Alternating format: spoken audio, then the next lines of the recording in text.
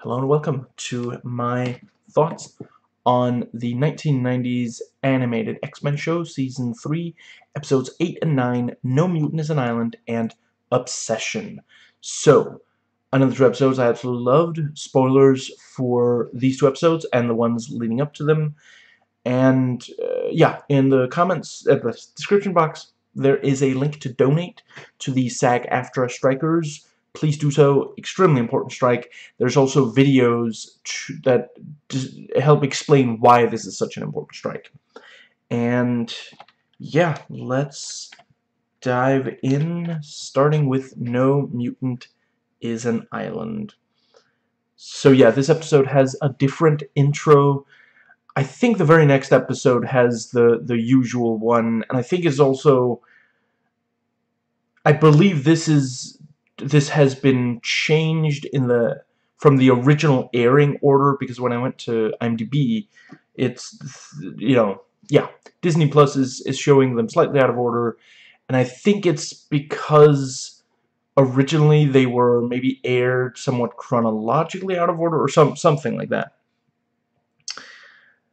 And let's see, or maybe to group Phoenix episodes together. Uh, anyway, and yeah, Jubilee is basically the only person who refuses to accept that Jean is dead. And, you know, th this was back when, you know, today, The Take has pointed out that we're starting to see, YouTuber, The Take, uh, that we're starting to see grief in a more complex light back then it was basically everyone thought all grief uses the the um, I'm gonna say there's like five stages. So you know going by that Jubilee is stuck in the the um, oh wow. I I thought I had it. Hold on. Five stages of grief. Denial. She's stuck in denial and you know Cyclops is in anger. The rest of them are in depression. Xavier's maybe already in acceptance. And let's see. Yeah you know Cyclops actually quits the X-Men because of his grief and the yeah, the the you know he says I'm not gonna need you know I won't be needing this anymore, and he throws the the uniform to to the ground, which I suppose could be interpreted as him agreeing with his live-action counterpart when we first met him. He does not want to be wear, wearing yellow spandex. And yeah, so he takes the bus, and the kid there hates mutants, and his mother doesn't say, I'm sorry he hates mutants. She says, you know, I'm sure this man does not want to be called a mutant, which, ah, oh, wow. And, you know, it's a great, because, like, you know, kids pretend that, you know, they're good guys fighting bad guys all the time and it actually reminds me of like cowboys and and Indian or Native Americans. Eh, you know the this this outdated idea that you know first of all that it's quite that simple that there's just good guys and bad guys which the show does a lot to to help combat that idea. The you know the characters who choose evil on the show are doing so for complex reasons and also just this idea that the other is you know the bad guy which you know today we you know when you look at all the information it's clear that white settlers did a lot of truly evil things. And honestly the Native Americans were just trying to get by. Like it was the white settlers who started the the conflict. Let's see yeah, and we get some some flashbacks and you know get get some more information about Cyclops's you know, younger years, which I quite appreciate. And we get the, the point that when it comes to adoption, the easy children are more likely to be adopted than ones with special needs. And this is extremely important. Like, you're really, you know, if you, you know, I understand if you, if you feel you can't. But if you are in a position where you want, you know, to, to, to raise an, another, you know, one or more children for, for the next generation, if at all possible, try to adopt, and try to adopt someone thought of as difficult, and see if you can't do the, the best, you know, be what they need you to be, you know. And, yeah, we meet Rusty, who, you know, he, he started the fire by accident, and it's actually a great, you know, kind of he works really well as a uh, what's the word? It's not metaphor. It's like they're they're Rusty is where Cyclops was. You know, both of them when they were younger, they couldn't control their powers, so they accidentally broke stuff. And Rusty explains, you know, he doesn't want, want to go back to Mr. Kilgrave. I totally had forgotten that we got Purple Man on here. And yeah, obviously, you know, it's not...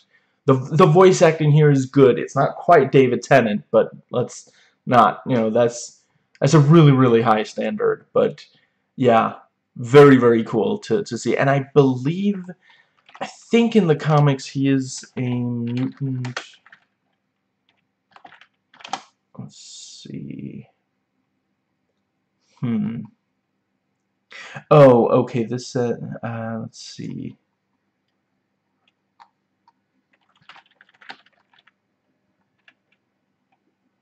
Um, hmm. Oh, maybe not. And actually, to come to think of it, I get, I'm not entirely sure. I forget if they say he's a mutant or not. And you know, it's okay. It, it wouldn't be the first time, like in the movies.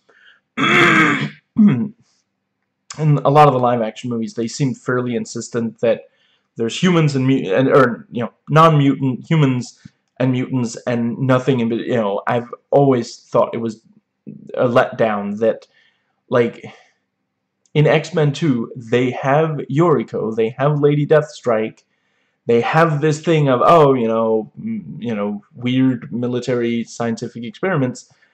Just make her a cyborg like in the comics. Like it's so you don't it doesn't have to be um you know or at the very least have her be like a combination of born mutant and also cyborg. Anyway. But yeah um and you know Rusty says he you know, he has a torture chamber in his basement, and he says, you know, I've only known you for a few days, but I already love you like a son, which, you know, considering, I, I forget if it's the same in the comics, but in Jessica Jones, the, the Marvel Netflix show, we do hear his childhood was awful, like monstrous, you know, so the, the, um, yeah, you know, if Kilgrave love if Kilgrave loves you as a son, that's not necessarily a, a good thing. That might mean he wants to abuse you the way he was abused as a child. And at first I was like, are they are they not gonna give us the purple skin? But no, it's just uh, you know he he covers it with makeup. But he does actually, you know, I don't blame Jessica Jones, the Marvel Netflix show, for not having David Tennant in in purple with purple skin. You know, instead he like wears purple suits. But yeah, you know, this show can get away with the the kind of thing. yeah, and yeah. So Kilgrave's team attacks the the governor and really great with the representation. One of the kids is disabled, and that that actually is his superpower. You know, he he can transform his you know, the the chair into, yeah. So that's that's really cool. And yeah, we we finally got a Cyclops-centric episode. At at this point, they have really thoroughly explored every single uh, team member of the of the X-Men of of the of the show, which is accurate to when the comics were also you know yeah the comics of the of the 90s and let's see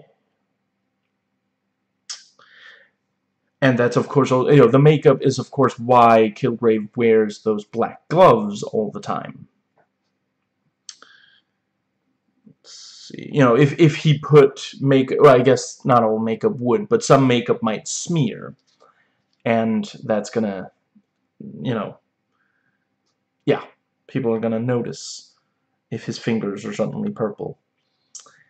And, yeah, we were told, you know, this is the final part of the training, so it's like, okay, gotta, you know, has to, has to stop that. Cyclops has to stop that. And, you know, Cyclops points out, acceptance is earned, not forced. You know, and the... You know, considering that earlier in the episode, you know, yeah, basically he had an arc. You know, earlier in the episode, he, it seemed like, you know, acceptance, like it, it didn't, it's, you know, er, certainly he was very frustrated about the state of, of mutant acceptance. And we see that, you know, Sarah actually accepted Cyclops from when they were children, knowing that he was mutant, and the, the, you know, basically it was because they were already friends. She already thought of him as a friend. And, yeah, you know, often that is how it, it is. Like, a lot of people who might not be open to, to people who are different from them if they know someone in person that they trust that can, yeah. Let's see. And, and Cerebro's auto-detection system has found Jean. And that brings us to Obsession, where yeah, Archangel is searching for Apocalypse, and yeah, we have an obsessed rich man who's abusing workers because of how much he believes in his cause. So, yeah, Elon Musk or, you know, I don't know if Zuckerberg believes in the cause, but whatever, you know, some something along, or Jeff Bezos, some something along the, yeah. And yeah, we see Apocalypse make himself really, really big. The biggest we've seen him so far on the show. Love to see it. And and Apocalypse thinks that it wasn't wrong to turn Warren into a slave because he is a powerful slave. And, and I know that this is, is not the first time Apocalypse expresses that on the show, but it is truly a fascinating and and there are people who say there, there are some powerful people who say your life is better you know that's actually that's a common refrain when conservatives you know try to defend slavery as if there's any way to it's it's the idea that it was ever ethical it's completely absurd but they something they will say is their lives as slaves in America are better than they were back in Africa. You know, and it's just so so again, you know, I I'd like to think this episode maybe primed some kids to reject that idea. You know, at least you know when when someone says something like that to you, you know, at the very least look at like sources. Check check what the you know, because if you know very much, it's it's a completely absurd statement. Even if you want to say, oh, you know, they were trying to make, well, if they were trying to make things better for them, they wouldn't have beaten them, separated families, raped them, you know. Now, Right, and there are mutant there, there are mutants fighting each other on Liberty Island, which I guess this might have been one of the episodes that helped serve as inspiration for at least one of the live-action movies. And yeah, you know, Rogue helps Warren, you know, you can really understand why and you know and she does by the end of the episode admit you know she got caught up in this obsession herself. And you know and eh, yeah I feel the, the episode does a good job exploring this because yeah the the um, you know a good cause can lead to an obsession. And obsessions don't tend to you know it like obsession is basically like being being on a on a train that's headed for a train wreck. You know you can you can try to get off in time or you can stay there until disaster happens but it's never going to end well. You know unless you stop. That's the only positive way to end it. I like that the ship likes Beast and there's actually there's a friendship to where Beast Uh, you know, sheds some tears over uh, losing her. And it is also this thing of, you know, there's, he's not often around a lot of people, a, a lot of entities that are really, really smart and really appreciate him. You know, we've seen that, like, even other doctors are like, you know, I mean, he's good at what he does, but he's still a mutant kind of thing. And, yeah, they, they, set up a trap and Wolverine really hates being the the guinea pig which we can understand why. It's probably making him think of certain situations he's actually been in where it wasn't just a, a test of a yeah. And but but yeah Apocalypse you know knew they were gonna use the ship and set up a, a trap that the the ship itself can't you know can't turn it off but ultimately she does uh, since since the ship has a female voice I'm going to be using female gender pronouns she ultimately does realize how she can guide the X-Men on the ship to to prevent yeah. And they do seemingly manage to capture apocalypse and and the ship says I I believe the you know what I'm feeling right now would be denoted as satisfaction which yeah. And but but yeah you know apocalypse does manage to escape. Really really cool line about you know do you know how many peoples have tried to destroy me? You are no closer than the was it the the Babylonians with their swords and their fire sticks. I know I've heard that before. Was that did they end up using that in the movie? Um, Babylonians with their swords and their fire. No, I guess it is. Yeah, yeah. It's just it's. Yeah, I am as far beyond mutants as they are beyond you.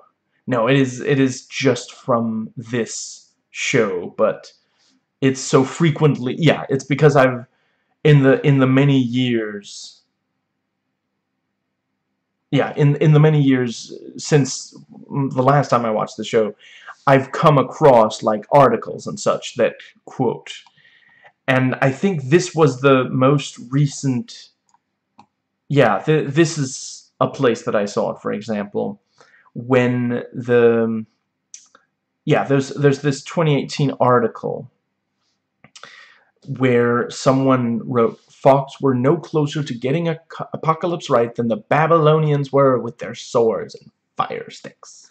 So that I, I read that after X-Men Apocalypse came out, and that's why it sounds so familiar